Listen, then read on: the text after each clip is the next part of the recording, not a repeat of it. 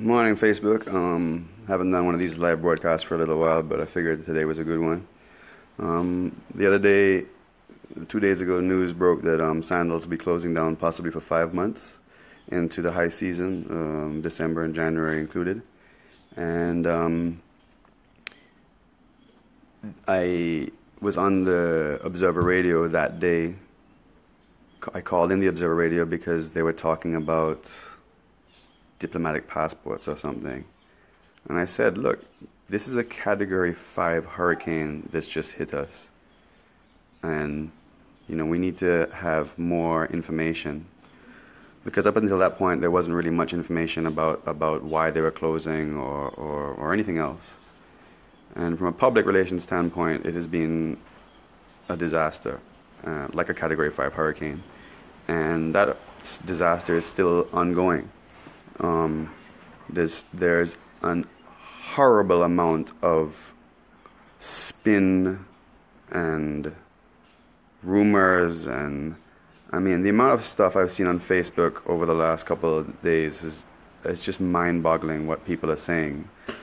You know, we we already have the white master, you know, keeping down the black people. We already have that. I'm like, but guys, let's let's try and see past that kind of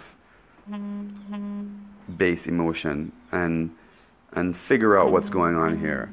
Thankfully, the Prime Minister of Antigua and Barbuda has, I mean, despite what the media has done to sort of mm-hmm.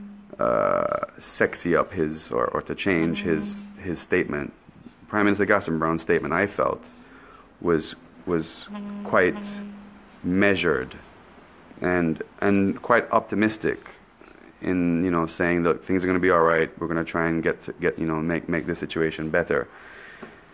But the other stuff has been pretty vitriolic, and I think that you know we have to look at Antigua and Barbuda and realize that we have some serious chronic problems that we've had here for a long time, which whenever situations like this come up, we ignore those problems and start attacking the messenger, you know? And there's absolutely no doubt that the Sandals group of companies are cutthroat. They are cutthroat. They they they are they're trying to make a profit no matter what. And you know, they are very, very, very, very competitive. And when they negotiate, they, they don't play around. You know, um, there's no doubt about that. And you could you could go further and say that they're too cutthroat, or some people have. I mean, we've been reading it. They're unethical in the way that they, they do business. But what I've been saying on Facebook for days now is, look, guys, this is 2017, and the the the reality is that this kind of business practice has been going on for a while now. It hasn't been in your face because when a cruise line decides they're not going to come back here, people don't really talk about it that much. You know? We've lost so much cruise traffic here for similar reasons, but nobody's talking about that. Um, you know, when, when a cruise ship, when the cruise ships came to Antigua, actually, let's step further back. When I went to the Cartagena cruise ship convention, and I, and, and, and the and the cruise lines are saying, oh, you know, we, we, we I went to a conference and they were talking about how they choose certain destinations and why they avoid certain destinations, and they were saying, look, when we tell you there's a problem and you don't fix it, we stop coming there. You know, it's up to you to change, up to you to fix it. If you don't fix it, we're just going to stop coming. So I asked the question, which got me into huge trouble. I asked the question. I said, look, but you guys are saying that we have certain problems in Antigua over and over and over again, and we're not fixing them.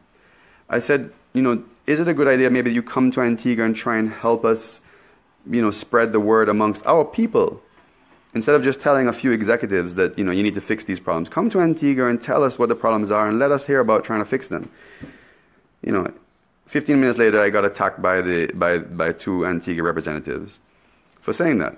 Needless to say, two years later, the, the major cruise lines came to Antigua and sat down at Perry Bay and had a conference explaining and spelling out in black and white what our problems were. Talking about things like the cost of of tours and cost of excursions and saying that, you know, Antigua's the price of, of, of excursions in Antigua is more expensive than all the other islands in the Caribbean because of these issues to do with transportation. And then they, they spelled it out. They said, look, we will choose destinations over Antigua because of the costs. And you guys are not dealing with the costs. So, you know, obviously we're not going to be investing into Antigua as a destination. They said these things. And, you know, Asot Michael, I think, took on some of these, uh, uh, um, some of these things and has been trying to fix them. And that's great, you know. I mean, we, we, the cruise side of things has, has definitely, I think, has, has, has improved in recent years. Well, recently. But we still have transportation problems and, and issues with cost of transportation. And let's face it, a cruise ship is not going to come to Antigua unless the price of excursions is competitive with other destinations. So anyway, cruise ships do it all the time. And for some reason, there's not the huge, big fuss and fight when cruise ships decide not going to come here and they go to St. Kitts instead, or you know, put another put, put, put the ship into uh, St. Martin instead of coming here. I mean, I don't know why, but we don't talk enough about that. Rob Barrett has over and over and over again. Rob Barrett, for those of you who don't know, I mean, a lot of people watching this probably don't know who Rob Barrett is. Rob Barrett is, is the boss man in charge of Elite Island Resorts. They market and, and sell five resorts here in Antigua St. James Club, Galley Bay, uh, Verandah, Pineapple, and Jolly Beach currently. And he owns several of those hotels outright. And you know, he says time and time again, look, Antigua's costs, the cost of doing business in Antigua is above many of our competitors. And so flying somebody from England and putting them up at a hotel here in Antigua is way, way, way more expensive than flying them to Cancun and putting them up in a comparable hotel or, or to Dominican Republic or even some of our close neighbors. You know, it's very expensive to build a hotel and to operate that hotel and keep that hotel afloat here in Antigua. And we know this. We've known this for a long time. And one of the reasons that we've seen sugarcane cutting islands all of a sudden become competitors is because they, their cost of doing business in some of these places is less than Antigua. So we've been hearing this from hoteliers, like Rob Barrett. Rob Barrett did a great presentation. You should go and look at it. If you look on ABS TV's Facebook page, you will find the interview with Rob Barrett, and it was an excellent, excellent interview where he says, look, utility costs higher here than anywhere else. You know, and he spelled it out. But the thing is, Rob Barrett lives in Antigua. He lives here. He has his family living here. He walks among his employees every day here in Antigua. He loves Antigua. He has an emotional attachment to Antigua. So, yes, he's building another property and he's making a profit here, I, I imagine. But could he make more money investing that chunk of change he's investing right now in his hotels elsewhere? Yeah, he probably could make more money in St. Lucia or he'd make more money, you know, elsewhere. But he's doing it here because he has an emo- emotional attachment to Antigua, I believe. And he loves the people. He loves Antigua. And he rightly, and sure he should. We are, we are, we are an awesome set of people. But Butch Stewart and Adam Stewart and, and, and, the, and the Sandals gang, they don't live here. And, you know, they're operating a hotel, uh, two hotels under the Sandals Grande. And they're looking at, they're looking at it from a different perspective. And I think in 2017, when there's so much competition in the Caribbean, but the Caribbean competition is just one little tiny part of the whole the whole um, pie. You know, we're talking about our competitors are not just in Antigua; our competitors are outside of the Caribbean region. You know, so when when when we're not, unfortunately, we're not hearing the side of the story. We're not hearing much from from Sandals Resorts, and we're not hearing much at the moment from from the government, apart from lots of spin from from some of the people. But you know, there's more to this story, and I think before we you know jump to the conclusion that Sandals is bluffing and Sandals is, is, is being spiteful and you know Sandals is not going to close down. Yeah, you know what? They, they they very much likely are going to close down. And yesterday I posted a quote from one of their from one of their people saying, "Yeah, you know what, Eli, they are going to close down. They've done it before, And all y'all people who are saying, look, they're not going to close down, you know, let's get real. They are likely to close down. They're likely to close down for a long time. And they've done it before. And this is nothing extraordinary in terms of regional um, operations. And, um, you know, let's look at why they're doing it. Um, you know, there's a lot of talk about concessions. We need to re- reevaluate concessions for hotels um, and big hotels. Remember, Sandals is not just um, a, a, a 15 room hotel. Sandals is a massive hotel that spends a huge amount of money on marketing. You turn on the TV, you see Sandals ads all the time. Sandals ads help people come to all kinds of hotels across Antigua. Just their commercials alone, promoting Antigua, promoting Antigua, helps people come to, to other hotels here. It's a big deal. And so, Sandals asking for concessions, you know, we can't be big and bad. Say, look, Sandals, you know, we're not giving you any more con- con- concessions. I, I have, I've heard through the grapevine because there's so much rumor uh, going around that one of the things they've been asking for, I think, I think the Prime Minister mentioned something in one of his press releases, is he was asking for concessions on duty free concessions on food and drink, um, which are going to be sold in the hotel. So, what's the dollar figure on duty for food and drink sold in sandals per month? You compare that to the overall injection into our economy per month that Sandals contributes through all their vendors. I mean, yesterday you, you, you, saw in the papers, you know, dry cleaning companies and other companies talking about it. My company, there's so many companies that actually are working with Sandals, landscaping companies, flower delivery companies. I mean, you name it. There's so many companies that are working with Sandals. And so if he's saying, look, man, I, I'm having a real hard time operating and if you know I need to get these concessions, I don't know. Like we need to reevaluate the way we operate our hotel industry here. I mean, I mentioned on on on, on an Observer Facebook thread that something about YIDA. Now YIDA, let's just not use the word YIDA anymore because it seems like there are some very hypersensitive political appointees and other people who, when you use the word YIDA, they start immediately attacking you. So let's just say when company X is given um, concessions before breaking ground in Antigua and Barbuda that make all the concessions that Rob Barrett has look like peanuts, and make all the concessions that that that that the Sandals Group look like peanuts. You kind of have to say, well, okay, I can see why they want more concessions. Um, again, tourism is not the same as it was in the 80s, you know, and we're seeing mega yacht marinas sprout up in places that we never thought mega yacht marinas would come in. We thought Antigua was the best place in the world for, for yachting. All of a sudden, we're, we're struggling to, to, to maintain market share in, in the yachting industry. We thought that sugarcane growing, banana growing islands neighbors of ours were just, those are farmers, they can't compete with our tourism. And all of a sudden, they have better ports than us and they have, you know, rapidly expanding tourism plants. Guys, we need to carefully look at our product and figure it out because we have serious problems that have been there over and over again, refusing to deal with. I mean, look, just imagine you fly in and you're going to go and stay at a five star resort, and you dri- somebody listening to this, I challenge you to drive in your car from the airport to Hermitage Hotel. You drive that road there, and you ask yourself, how would you feel if you are spending that kind of money?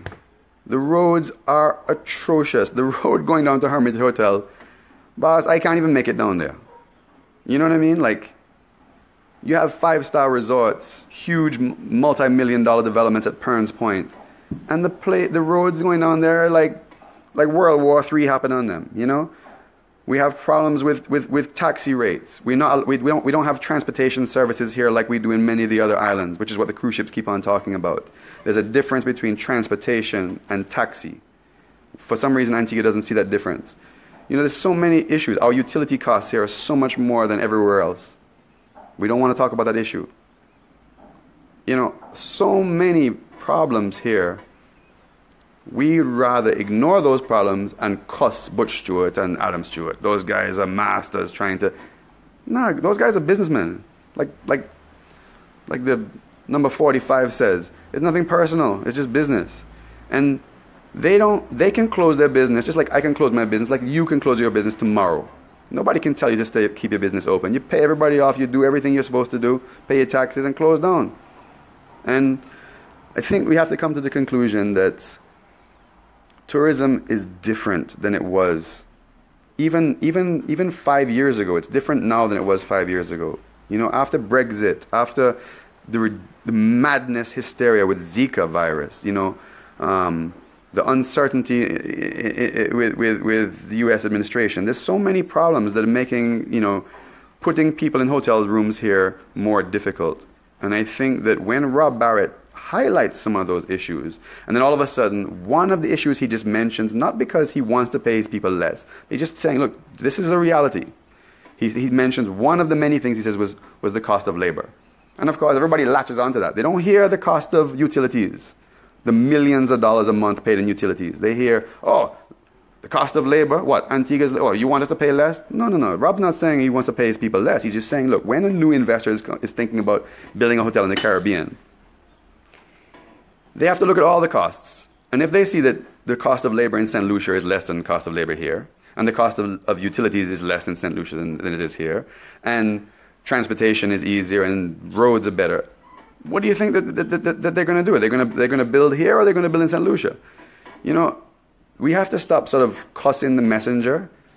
And I'm glad that Gaston Brown, and I hope that he's going to follow through with what he said. I'm glad he's, he's taking a measured response and, and saying, look, we're going we're going to work this out. Hopefully, he tells the rest of his ministers and, and, and, and, and people to ease back on on on all the um on all the rhetoric because some of the stuff I'm seeing, man, is just madness. You know, we need to all calm down. Let's hear some good public relations from from the Sandals group about what it is their problems. Put it on the table. Butch and Adam, put it on the table. You know, tell the people what are the problems what, what, what do you want to see differently here in Antigua? And, and then, you know, we can evaluate it and we can figure it out as a people. But just, I think we need to, to, to, to stop being so knee jerk reaction. This is a horrible thing. I mean, like I said on The Observer, I'm going to lay off my staff. I'm going to lay off staff, no doubt about it. You know, there's so many businesses. Airlift is going to be affected into Antigua. Somebody was somebody uh, was saying the other day that they'd be surprised if JetBlue can keep flying into Antigua. Um, all the airlines are going to are gonna take a big hit. They're not going to come flying into Antigua half full. They're going to cut back on their flights. So, and that's going to affect all the other hotels. The restaurants are going to be affected. Yes, it's an all inclusive hotel, but people do go out of that hotel and eat at restaurants. Um, there's, there's so many things that are going to be affected. It's not just the poor people who are going to be fired and paid off. You know, there's this whole economy is going to be affected, and this is a big deal. And why I think that we need to take it seriously is I don't think this is the last of this kind of thing we're going to see. When Sunwing comes here, Sunwing will be even more powerful than, than they may be even more powerful than the Elite Island Group and Sandals. They're going to have their own flights. And so we need to learn to listen to these guys, listen to their requests for concessions, and also their complaints about, about other things that are going on here. And, and look, not just say, you know what, we don't need you. Go ahead, close down. If you feel bad, close down. Nah, that's, that can't work because they will close down. They will go somewhere else. Just look at the cruise ships. They've been doing it for a long time. Anyway, I just like to say that, um, you know, when people make comments like this, like I'm making right now,